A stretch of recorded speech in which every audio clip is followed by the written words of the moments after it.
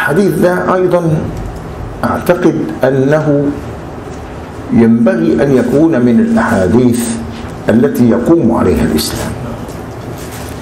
النصيحة قيمة من القيم العظيمة إن أديت بشروطها وآدابها. يعني ما كل واحد بيقول أنا بنصح أنا بنصحه لله لكن ليس كل من نصح نصح. بل هناك من إذا أراد أن ينصح فضح. يعني هناك فرق بين النصيحة والفضيحة. في إنسان بينصح وهو أب شفيق رفيق. إنسان بينصح وهو يعني لا يريد الاستعلاء ولا يريد أن يشير إلى نفسه بأنه ناصح أو أنه عالم أو أنه فقيه. أو أنه أدرك ما لم يدرك غيره. الكلام ده ما ينفعش. النصيحة زي الشيخ أبو الفيض كده ما قال في إجازته الطريقية قال عبارة جميلة. بيقول يعني إن الطريقة بتاعتنا دي من أركانها التماس المعاذر لسائر الخلق. التماس المعاذر لسائر, لسائر الخلق على اختلاف أجناسهم. وعلى اختلاف طوائفهم وأطيافهم. المعنى يكذب قال فمن لم يسلم عليك مثلا أو سلمت أنت عليه فلم يرد تعتذر أنت عنه بأنه لم يسمعك أو بأنه كان مشغول البال. وقس على ذلك واستحضر قوله تعالى ما من دابة إلا هو آخذ بناصيتها. إن ربي على صراط مستقيم.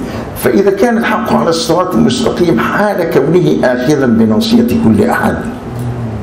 فما ثم بهذا الاعتبار إلا الصراط المستقيم. وده يعطينا إيه؟ قال لك وهذا يعطيك أنك إذا أردت أن تنصح ينبغي أن تنصح وأنت أب بلسان الشرع. تنصح بلسان الشرع وأنت أب شفيق رفيق.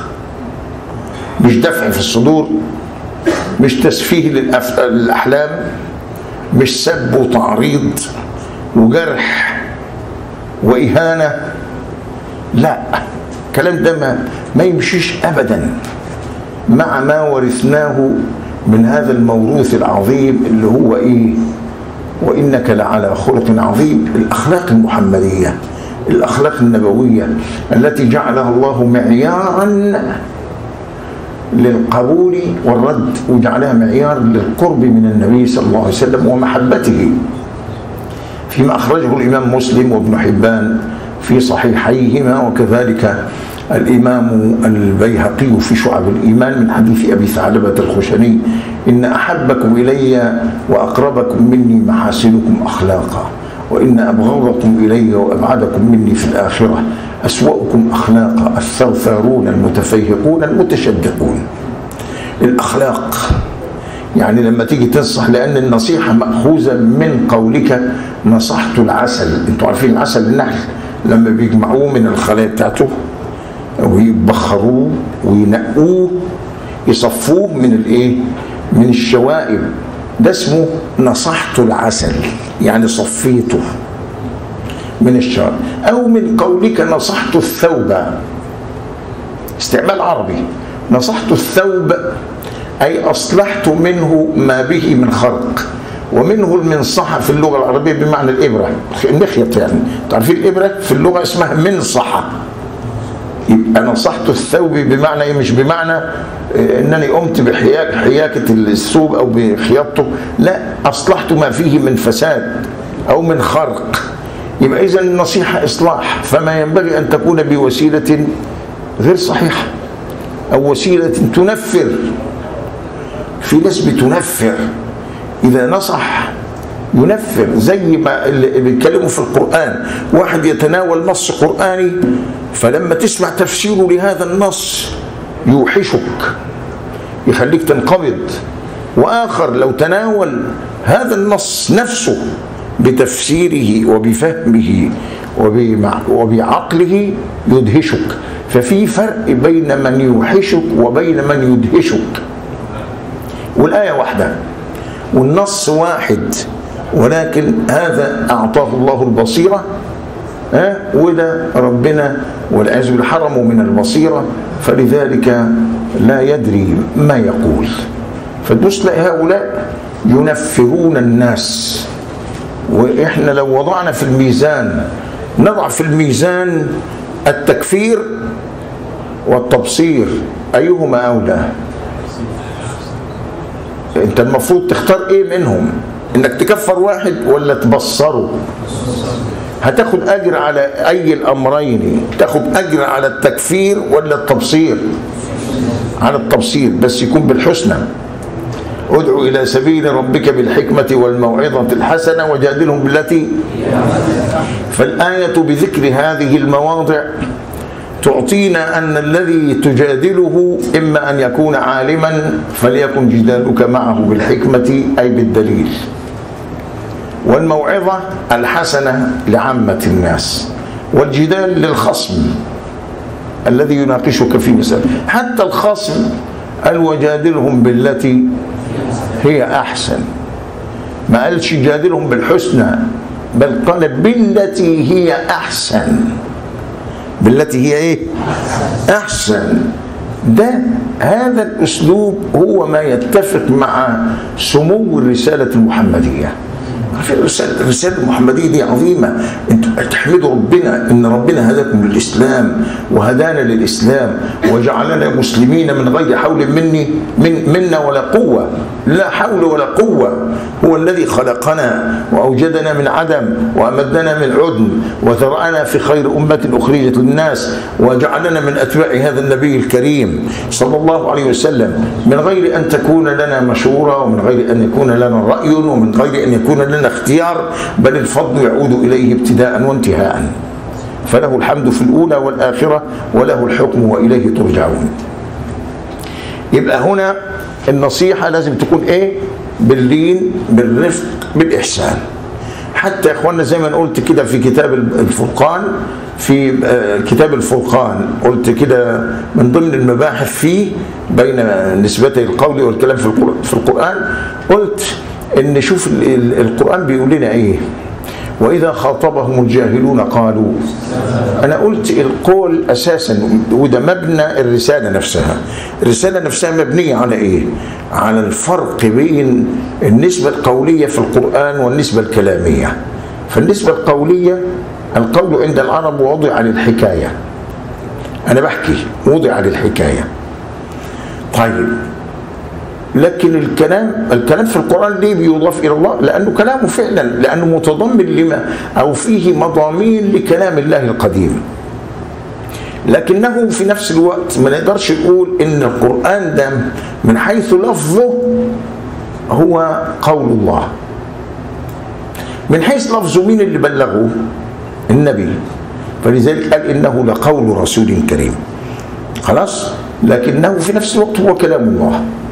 فالقول موضوع للحكاية قول موضوع الحكاية. فإما يقولوا وإذا خاطبهم الجاهلون قالوا سلاما هل المقصود من القول هنا قالوا الحكاية اللفظية ولا الحكاية الفعلية؟ الفعلية لأن الحكاية القولية لا تتناسب مع سمو الخطاب في القرآن. أنت لو قلت لواحد جهل عليك سلاما باللفظ لو قلت له سلاما لأثرت بذلك حفيظته لأنه يفهم أنك تعرض بجهله. لأن الآية بتقول وإذا خاطبهم من? الجاهلون. فأنت لما تقول له سلاما بالكلام كده يفهم إنك بتقول له أنت جاهل. تبقى أنت عملت إيه؟ ولا حاجة. أنت زدته حنقا وغيظا. يبقى قالوا سلاما بمعنى إيه؟ مروا بسلام. لأن العرب كانوا يستعملوا القول مش بس في الحكاية اللفظية بل كانوا بيستعملوا القول في الحكاية الفعلية فيقول لك إيه؟ قال بيده هكذا. قال بثوبه فرفعه. قال بالماء فصبه. قال بالباب فاوصده قال بالعصا فضرب بها. يعني دي حكاية فعلية. يبقى وإذا خاطبهم الجاهلون قالوا سلاما أي مروا بإيه؟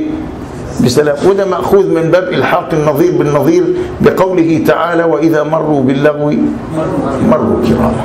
نفس الكلام قلته في تفسير الآية والتي والله لم أجد أحدا من المفسرين قالها ولا التفت إليها. الآية اللي في سورة النساء. لا يحب الله الجهر من بالسوء من القول إلا من ظلم. أنا أنا شفت ناس طالعين على القنوات في أيام الثورة في بدايتها بيشتموا في بيشتموا فينا ويشتموا في الجماعة في في المسلمين. ويقول لك إحنا لنا رخصة إن إحنا نسب لأن ربنا قال الا من ظلم؟ فإحنا يبقى لنا إن إحنا نسب خدوها منين؟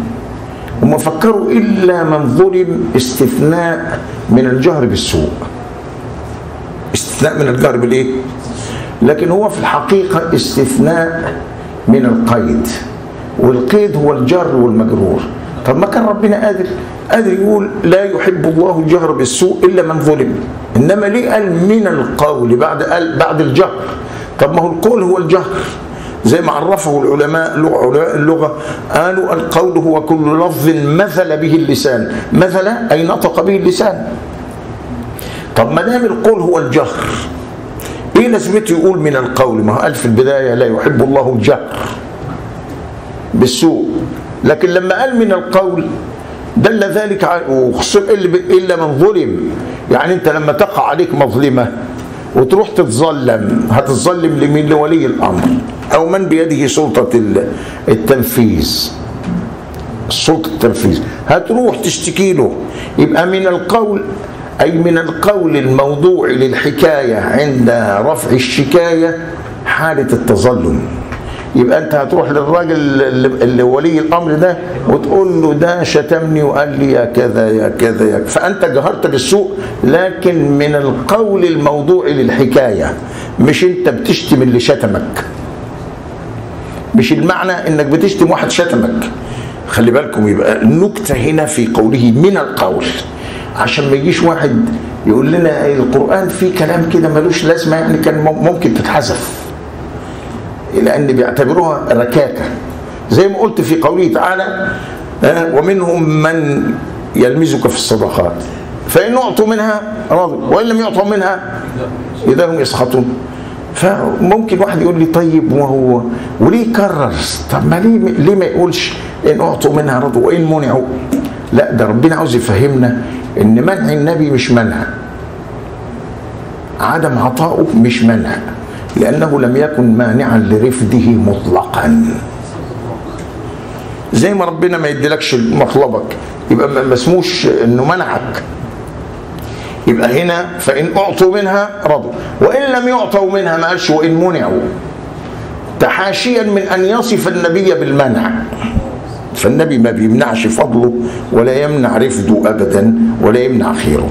وإن لم يعطوا منها إذا هم إيه؟ يسخطون. هكذا تعلمنا من القرآن ومن أسلوب القرآن أن الإنسان يجب أن يرقى بخطابه كما رأينا خطاب القرآن. شوف الرقي في خطاب القرآن بيعلمنا إزاي نتخاطب ونتعامل مع بعضينا وما نجرحش بعض. هذا كله يندرج تحت النصيحة. وإذا كانت النصيحة لله فينبغي أن تلتزم بخطاب القرآن. ولرسوله فينبغي أن تلتزم بأدب رسول الله. ولأئمة المسلمين ينبغي أن تسلك مسلكهم. وعامتهم لابد أن تخاطبهم بما يعقلون. خلاص؟